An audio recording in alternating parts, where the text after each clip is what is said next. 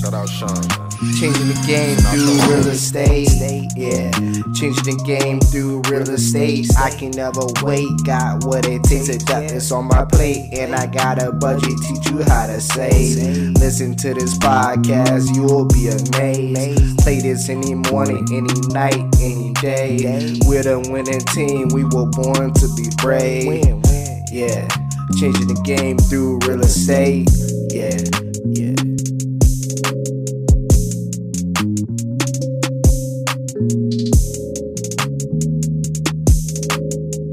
What really impressed me about you is like you're talking about everything that no one really wants to talk about. And I know for me personally, like I started uh, looking more into like the agricultural farming. And one thing that really like was very interesting to me, I didn't know like Bill Gates was like had 270,000 acres of farmland. And what I thought was really strange is China actually owns 190,000 acres of farmland. So I feel like, and I don't know if like if I'm the only one, but I see on social media like you see like food process plants like on fire, and I really wanted to bring you on the show to really talk about that. But before we really get talk about that, this is uh, Stephanie Nash. Welcome to the show. And can you kind of tell everyone who don't doesn't know who you are? I know you're into country music. You have uh, agriculture. You have a family farm. Can you just kind of I know I was like a little all over the place, but can you kind of tell us like your your backstory and everything? Yeah, so again, my name's Stephanie Nash. I'm a fourth generation dairy farmer, originally from Fresno, California. We moved our dairy farm in 2013 when water was getting very um, hard to get in California and also regulations. Um, a lot of people, when they think about California, they think about beaches and, you know, the city mm. life, and it's not just that. Um, it's the largest agriculture county in the United States, the San Joaquin Valley. So yeah. California is known for a lot of things, but agriculture doesn't get enough recognition. Yeah. Um, unfortunately, you know, we left that richness of California to come to Tennessee just because dairy farms were going out of business so drastically, um, especially in 2008, 2009. Um, so we've been sitting here in Nashville, Tennessee, south of Nashville, uh, for about nine years now. Um, the last two years, we've really been pushing our own products. Uh, we're known for our ice cream and our little creamery in Chapel Hill, Tennessee. And then we also just released our own cheeses and cheese curds. So, really been just trying to brand buying local and being able to have that support from our community. Um, you know, when COVID hit, I really just saw the urgency of people going to the grocery store and starting to get scared because they couldn't get products that they needed. I mean, we still see it nowadays. I feel like, you know, I have people messaging me all the time hey, there's no eggs. Hey, there's no baby formula. Hey, there's no milk at my grocery store. And it's something very concerning for us as family farmers or ranchers, especially during COVID. You saw Michigan farmers dumping milk because the plants were too full. But on the other hand, grocery stores were empty. So I started advocating for the truth coming out of the USDA, the truth coming out of the government um, of what is actually happening in the agriculture industries. Um, I don't think Americans really educate themselves enough about where their food comes from. Unfortunately, in the last 10 years, we've seen um, almond milk and oat milk and Beyond Meat really take over our market. And no matter what you're putting into your bodies, um, if it's a health choice or a lifestyle choice, I think Americans should know what the actual uh, you know content of the of the food is you know when you look at beyond meat um, there's things in, in that ingredients that are illegal in other countries. And um, if you look at other countries like Europe and France, they banned, um, you know, anything that is not livestock on labels. And I think that's something the USA should do um, for livestock because it protects agriculture, it protects your family farmers and ranchers and what your food should actually be called. So and all of that you know i created this platform that has been growing not only on linkedin but you know now i i am a spokesperson for national news for family farmers and ranchers. Um, the beginning this year there was also an opportunity for me to come on to tpusa they partner with fox nation. Um, a lot of great ambassadors for different topics of our economy and so i was the first ambassador to represent the agriculture industry. So really excited to be on that. That has been life changing, honestly, life changing to be a part of that. Um, and then, you know, just traveling, speaking at different conferences, uh, being an influence for, you know, our next generation, growing up, knowing what agriculture is. And so that's what I've been busy with and, you know, just trying yes. to be a big voice for agriculture. Yeah, I've been seeing you definitely everywhere. I guess uh, one thing you said, you said mentioned back in 08 and 09, a lot of people uh like lost their farms. Was it because of like the the housing crash and the um not not having money to afford the farms, or what kind of like affected them back then? Yeah, I think everything from our economy to just the change. I think 2009 and 2000, you know, 8, you see like the social media change too, right? We weren't really like Snapchat had, you know, just gotten started and Facebook was getting big and new apps were coming in for people to be online more. So I feel like education changed, the economy changed, and uh, you know, for for California, they were going through a lot of um, government over overtake. So I think um, in general, 2008, 2009 was hard on agriculture because they weren't getting paid enough for their products, but they were paying in other um, you know, other farm inputs more than they were um, of what they could afford to keep their farm alive. So it was just a really hard time for agriculture. Um, it has it hasn't really gotten any better, honestly. Yeah. If anything, it's gotten worse. Um, you know, you see for sale signs out in the country um, all the time, and I, I this is the biggest thing that I'm really passionate about too. Is like people want to move out of the state because they don't like the government or what is going on in their state, but they don't realize how it's going to affect rural communities and other places. Like California, you know, California is California. It's what it is. It's never going to change. It's always going to be government ran. But then you come to states like Tennessee or Texas and Montana, and you see farmers struggling just to get more land because they can't afford it. I mean, we live an hour outside of Nashville and we moved here in 2013. Land has gone up like 50% since we moved here. And um, it's just devastating, you know, to agriculture communities because we're not thinking about the land that we're taking up. Um, you know, I was watching something today that I'll probably post on tomorrow. There was a guy saying that, you know, livestock needs to die, that agriculture is the number one you know reason why we're we are losing wildlife and climate change and all of this stuff and i'm like you guys aren't even looking at the facts that transportation and electricity are at the top of emissions and you're not even looking at how many housing developments are you know building throughout our cities. Look at colorado springs they just built a huge amazon plant and then they're building houses on houses on houses um, and so I, I posted today, you know, you, we care more about that luxury living than we do agriculture right now. And so, um, yeah, I mean, it, it, it hasn't slowed down for uh, farmers or ranchers in, in the fight to keep their land. Yeah, I know. Uh, I think it's my family tree gets so mixed up, but my granddad's cousin, he had a farm up in uh, um, kind of Western Virginia, and uh, he got he ended up having to sell his farm because of um, property taxes what really got him because all the residential started pushing uh, pushing back to the edge of his farm, and his taxes got too much to afford to I guess to keep everything up and running, and he ended up having to sell. And um, one of the statistics, I'm not sure how accurate it is. They said the average uh, U.S. farmer makes only like forty nine thousand dollars a year. Is that kind of like roughly accurate with most uh, small farmers that you know, or? I don't know that number. Um, it's very different across the board. So, honestly, lately I've been seeing a, an imbalance in agriculture because you have to think about it. Livestock is always tackled for the climate change issue. Livestock is always a problem with neighbors if they smell something and they don't like it.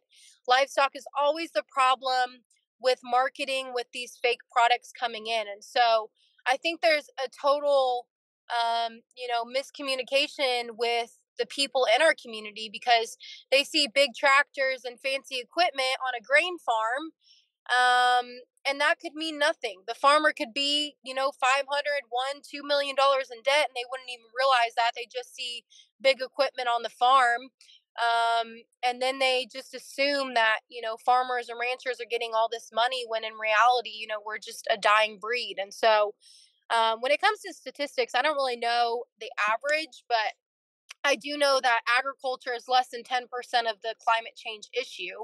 Um, and I, I know that, you know, 45,000 dairy farms have gone out since 2003 and 60% of family farmers in the pork industry have gone out and China's come in and, and bought some processing plants. Um, so I know there's a big attack on livestock industry right now and, um, you know, just a lot going on. Yeah. I just feel like there's like, like this massive, like chess move that's going on that no one really knows what's going on because like you say like bill gates is buying $270000 270000 acres of farmland and then china's buying all this farmland i feel like they had they know something that we don't like they're trying to yeah i guess they're uh, pushing uh, fake meat and then they're buying all the farmland but like why like it doesn't like it doesn't make any much sense so i'm curious of like what's your theories on why they're buying farmland yeah, so I think the biggest thing too is like people are like, "Oh, well, she I get this all the time on platforms. Oh, she's a Trump supporter or she doesn't like this administration because of what they stand for." No, I don't like this administration because of what they stand mm-hmm. for.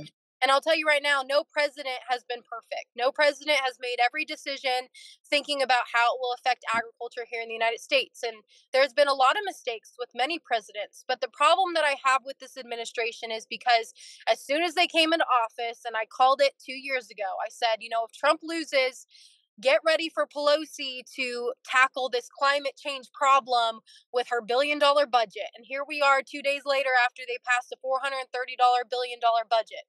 Um, you know, I think the problem with this administration and their followers is they want to save the planet and they want to do that in any way. They don't care what it destroys. Um, they just want to be better people. But the problem with that is the people that follow this activism kind of lifestyle against agriculture, they are living in New York City, they are living in Denver, Colorado, they are living in uh, San Francisco, California, and they're living in an apartment that is giving back to this 27% electricity emission problem. And they continue to attack agriculture. And it doesn't matter if they le- eat lettuce or they eat tofu, it still comes from a family farmer and rancher. Um, I think it's so funny because, you know, Yellowstone, there's a little bit of a different, um, you know, I, I guess feedback on it, but I love the line when he says, you know, you only care how cute the animal is. and I think that is so true to these activists that continue to attack agriculture because we don't have the cutest animals.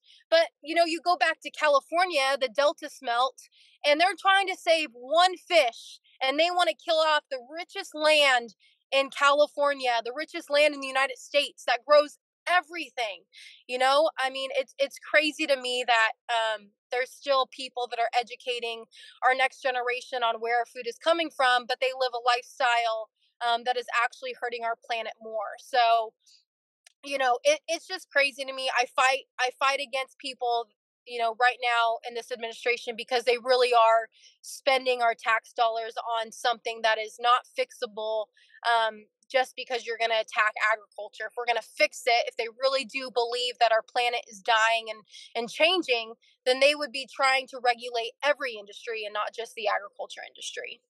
Yeah, I, uh, I looked a little bit into uh, the new plan that he proposed. Isn't it something like where he's uh, restricting like farmers when it comes to like their uh, what was it? The um, the, something about the livestock farming. I can't remember exactly what it was. Can you uh, do you know uh, what I'm talking about with that with that aspect? Yeah. So I guess this is where I'm a fighter for livestock industry. Like I love agriculture and I want to fight for everybody, but I'm a dairy farmer, so livestock is in in in my blood, and it, it just you know starts to boil when people lie about what I do.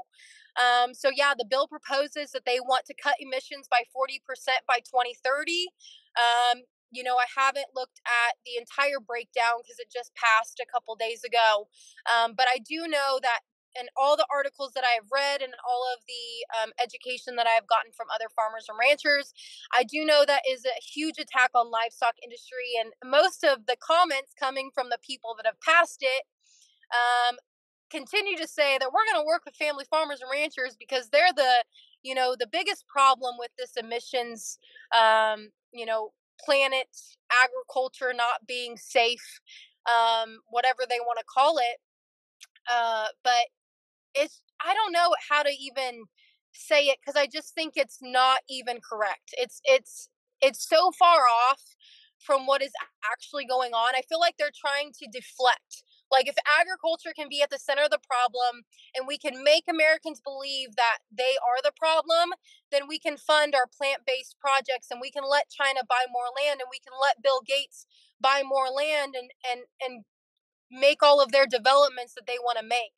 Um, so I just think there's a lot going on in the White House right now. We'll see where where it goes. I think you know people don't know about the farm bill. I don't believe every five years the farm bill is put into um, effect to protect family farmers and ranchers. That's really the only bill we have um, that protects us. So I think with this coming into 2023, the new proposal for the farm bill and now passing this billion dollar budget, it's really going to hurt us um, trying to get a fair shot for our farm bill. Um, so we'll just have to see. I, I believe that, you know, in 2023, this Biden administration is going to try to put um, climate change funding. And if you don't follow those rules, you're going to go out of business into the farm bill. But we'll just have to see in the future. So, why do you think uh, like just in your opinion why do you think they're pushing toward more like away from farmers more away from naturally grown into more processing plants like like like more or less fake food like because they're inve- because they're invested into it that's why. I mean if you look at the senators and everybody that's in the white house right now they've always been pushing this plant-based stuff for the last like five six years and if they're going to invest especially i mean tesla look at tesla they're going to push electric cars on people because they're invested into it. They want energy infrastructure because they're invested into it. They want new fancy neighborhoods because they're invested into it. Um, they're not invested into agriculture because it's 97% family farmer owned. Um, so that's something that I say all the time. That's why they attack us, is because they don't control us. Yeah. Um, so they're trying to control the food supply. They're trying to run us out of business. And I'll tell you right now, family farmers and ranchers in the middle class economy, they're going to fight harder than most of these people that support this administration. Um, so, yeah, I mean, it's it's a big investment for them. They could care less about the planet. So, uh, with down to like the family uh, farm aspect, are they able to like to pivot at all? Kind of really help them uh, stay like almost not necessarily ahead of the curve, but stay ahead of like property tax. Is there a way to like rec- help um, maximize their revenues so they can help like sustain their farm? Is there ways to to really do that or? I mean, the biggest thing is producing your own product so you get to, you know, make your price because the problem with agriculture is we have a whole bunch of people telling us what we're going to make. We don't actually get to set our price um, for the American people. That's why I say when you go to the grocery store and things are more expensive, don't think that family farmers and ranchers are making more money because we're not. We're getting paid the same, even though you're paying more. Um, so I think people and family farmers and ranchers across our country are kind of trying to make their own products and trying to um, get into other businesses to support their farm. Like I know a lot of people, especially in Tennessee, tons of beef farmers across our state, but they all have second jobs because right now they're not making any money. I mean, you look at Texas, I talked about it the other day fires, droughts, um, a governor that could care less about agriculture in his state, and they're selling off beef cattle by the thousands. And that's the largest beef producer in the United States, is Texas. Um, so if people were to pay attention to their own states and see what's going on, maybe they would start to listen to you know their local rural communities because those are the people feeding them right now. It's not China, it's not the government, it's not Bill Gates, um, it's their local community. So, I mean, the best thing that family farmers and ranchers right now can do is just hold on tight, fight for themselves, and get their community behind them. So the way the process works for uh, a farm, let's say like let's say you're you're in the uh, the dairy business, so you make uh, make your product and you're selling. You're are you selling it to like a distribution center, and they they set that price, and you more or less got either got to sell at that price, and you don't really have any other option. Yeah, so when we have our own products, we we get to make the price, but when it comes to like shipping our milk, the the buyer tells us what we're going to get for our milk. So when it comes to our ice cream ice cream products or our cheese products, we set the price. um, and we sell it to local stores or distribution centers. Um, but when it comes to like, I mean, the biggest thing is the beef guys around here. You know, there's four main packers across the United States. So what they say goes, and they don't get a penny more.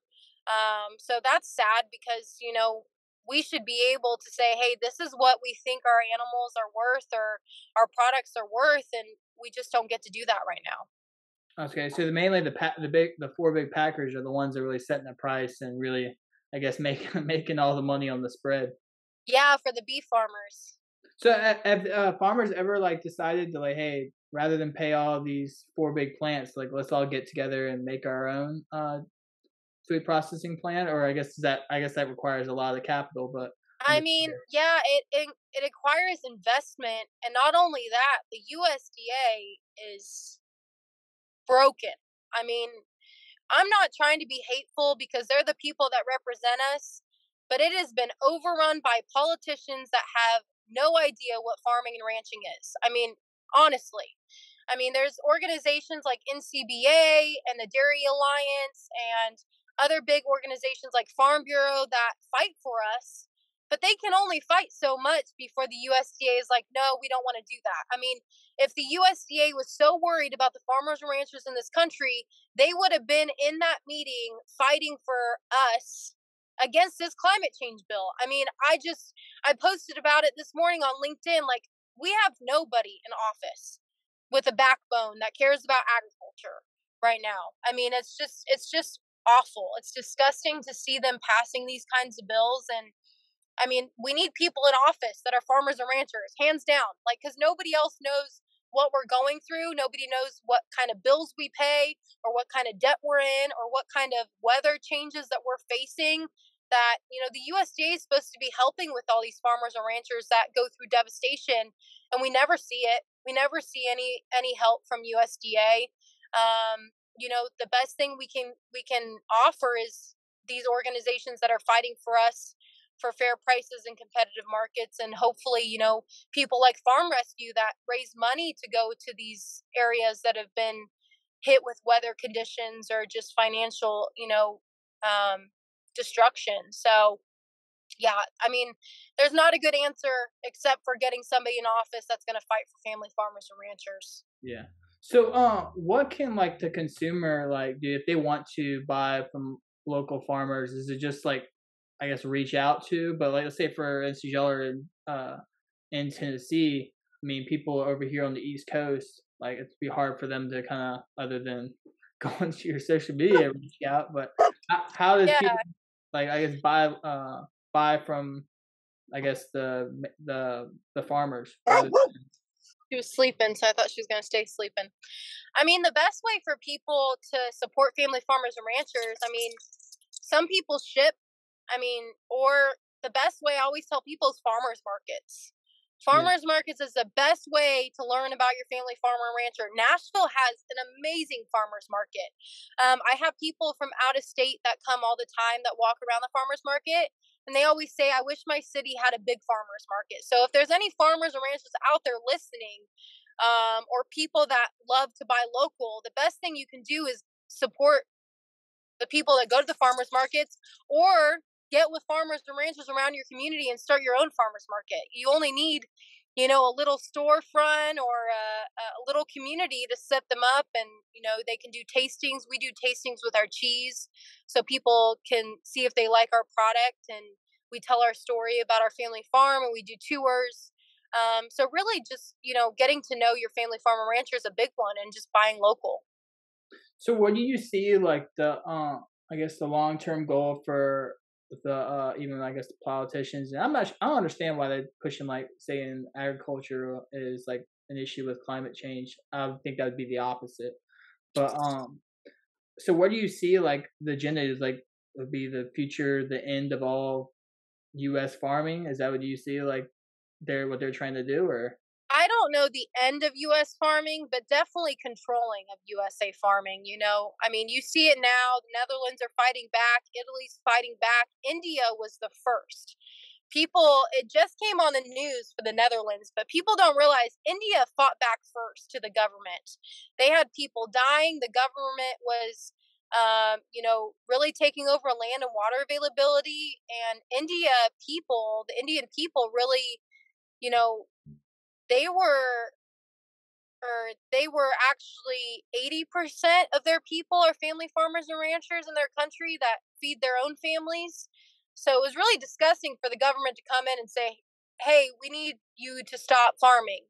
Um, and so I think there's a big. I guess my uh, one of my main uh, questions I've been thinking about, like, so if, if there's not really that much, uh, if they're pushing like fake foods, why is like Bill Gates like buying all the lands and all that, uh, all that stuff? I feel like, like, years and years down the road, maybe I feel like there's gonna we're gonna have like an issue with like food in general. And I feel like that's gonna be their way. It's gonna be like the hierarchy. They're gonna be able to control the entire food supply. So that's where I think my just personal opinion. I feel like if I'm playing chess, I feel like that's what their moves might be. I don't know. What do you, yeah, I mean, yeah, I mean, when it comes to Bill Gates, I think everybody knows that, you know, he is not afraid to say he wants plant based and he wants lab grown food and he thinks livestock and agriculture are the worst things for our planet. Um, but again, that kind of goes back to what I was saying in the beginning. All these activists, all of these politicians only care about one thing, and that's filling their pockets. So if they can come up with bills that regulate the rest of the economy, um, then that's what they're going to do. I mean, some of these regulations, if you really look into them, they don't even make sense. I mean, back uh, in the beginning of the year, they wanted to do a climate change bill and it got shot down by the Supreme Court and that was like 25 million for butterflies and you know 120 million for activists um, just to give them money to fight against something i mean yeah. for them to just go into i mean the biggest thing that i've seen lately they go into chick-fil-a they pour fl- fake blood on them they say they're killing animals i mean that's what we're paying for with our tax money i mean it just doesn't make any sense to me if you want activism if you want to make the planet a better place you work with people that have been in industries for years that actually know what's going on, not just people that read on the internet. Yeah. So so uh, is there a way for uh farmers to like almost like have like almost multiple sources of income or anything? I know they have like the um their food process processing they give it to uh, the food distribution centers to do that way. Is there any way to like make extra income with farming like outside of like I know like some people over uh I guess it's kind of Western Virginia over here. They do like uh like glamping campground sites on their uh on their farm. Is there like other ways to to really make income through through that? To, yeah, like, I mean nowadays yeah nowadays like especially where we are like franklin and nolensville they've been very open to farm tours and camps and actually coming to visit us and educating themselves about what we do. And that's a way for us to be able to give back financially to the farm. We're educating our community and also they're helping us with bills that we need to pay to keep our operation and family business running. So there's a lot of opportunities but again it takes some you know income to get it started and um, i wish the usda would provide more grants for farmers for education. I think that's something that we miss in the usda you know during covid i talked about it a little bit that you know family farmers and ranchers were dumping milk and they weren't being able to get into processing plants. And for me that's a problem. When families at home weren't able to feed their kids because they didn't have a job that's a program the USDA should have implemented. And I've had a lot of people say it's it's it's deeper than that, Stephanie. I really don't think it is. I think there's a lot of family farmers and ranchers that would rather give back to programs that like that than have to wait on the government to say if they can sell their food or not. So, yeah. um, I just think there's a lot of programs that we could be implementing across the United States and across the world. I mean, there's so many missionaries that travel across and help communities that need it and the U.S. could be providing that. So, do y'all have a lot of like hedge funds calling y'all to buy a buy y'all's property at all? Or no, like, we haven't. For you personally, but like farmers in the area or anything like that. No, I mean we people know that we're pretty settled here. Yeah. I mean, if anything, people are just like, "How many acres do you have?" And it, I mean, it's not a ton. We have a little bit over six hundred, and we're happy with that. We wish we could rent and buy more, which we did this year. Um, but again, with the prices as it is, we're renting, you know, right now because you can't buy anything, at least out here under 10, 15,000 an acre. It's ridiculous. Yeah. Um, so have y'all like I'm not I'm not into farming, so I'm not really sure. Have you ever thought about like if they're trying to push like second homes up next to your property? Have you ever decided like, hey, let's build these right over here and control them ourselves, so that way we at least control that income rather than having to uh to sell? I mean, again, it takes takes a lot of money to do that. I mean, yeah, the community that I live in isn't the richest community. Um, it's a lot of family farmers and ranchers, a lot of beef farmers that are struggling just as much as we are. So when it comes to that, nobody really has the income to do that. There's a lot of developers coming out of state from California, New York, Chicago. They have a lot more money than us, so they can bid a lot higher than us. So when it comes to that, there's really no market for it for us because we don't have enough money to do it.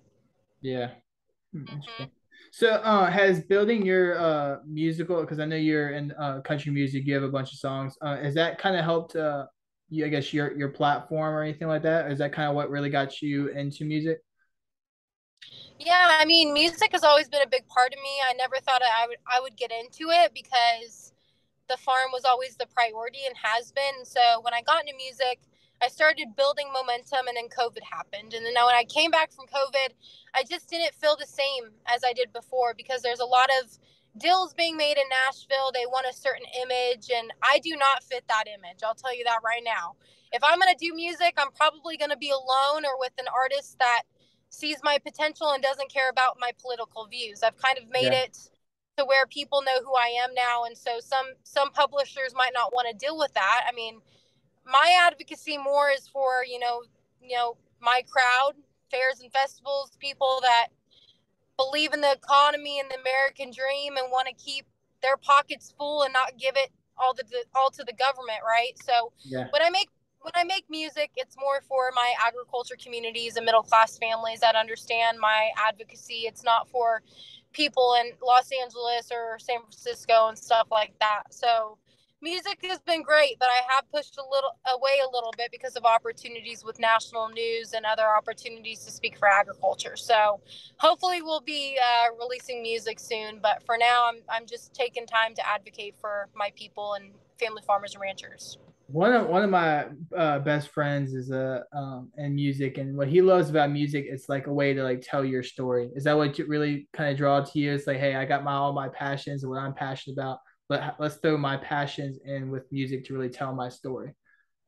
Yeah i think that's why i started was you know i was writing music with an amazing artist in town and um, i just i felt like nashville changed after covid. It was very like how many views you got or how many followers you had. And it it was less about the actual song than it was about just like the following and how much money the label could make. So um, I, I get it when he says, you know, it's about telling your story, but unfortunately, there's a lot of great artists and songwriters out there that don't get recognition for an amazing song unless they have 50 or 80,000 followers.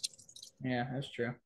Yeah, because yeah. it's all about attention and I guess mm-hmm. attention and money. But um, so if people wanted to get more educated on ag- agriculture or really to, I guess, dive in and learn more about what everything that's going on, where would you suggest uh, that them their process for them to go look look for that? Yeah, I mean, if you want to get educated on, you know, bills or where to buy or anything like that, I would definitely follow Farm Bureau is a great one. Um, Fence Post always has great stuff. Ag Daily um, the Farm Journal is always great. Follow resources that already have the farmers and ranchers back instead of going to like New York Times or, uh, you know, just random websites that pop up. Um, but yeah, I mean, even just following your local farmers and ranchers on on social media too. That's a great way to get involved. Is there any like uh I guess last minute um something you want to say to our listeners or last piece of like guess advice or even just information you want to leave them with to, to really think about? Yeah, I mean, just look at the future of your food supply. I get messages every day about empty shelves and people scared because they can't get the resources that they need.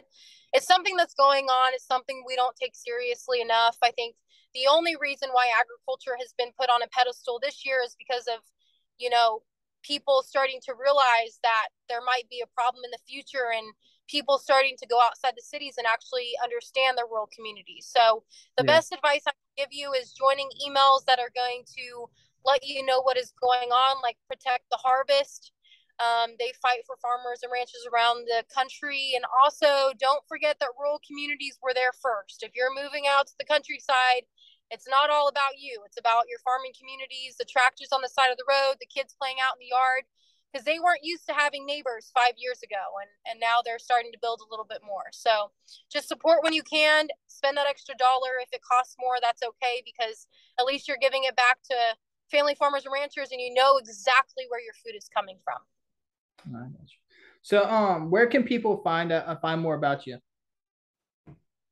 Um, so I'm on Facebook. I'm on LinkedIn. I'm starting to get back on Twitter. I was not a Twitter fan because they put. I mean, for me, they took all of my stuff down. So I was like, okay, screw Twitter. I'm not gonna do go on there anymore. But um, I'm back on Twitter uh, because people have been sharing my stuff. So, uh, but LinkedIn is is big. I just people are loving it. I love LinkedIn. You know, we just got over 660,000 impressions and oh, wow. three or 400 follow reshares. It was crazy the other day. So LinkedIn has been great, but TikTok's my big one. You want to fo- find me on Tucker Carlson, Fox News. I'm probably going to be on there quite a bit. Um, and of course, I'll be at the TPUSA America Fest in Phoenix in December, supporting America, being a patriot, uh, you know, just being strong for agriculture. So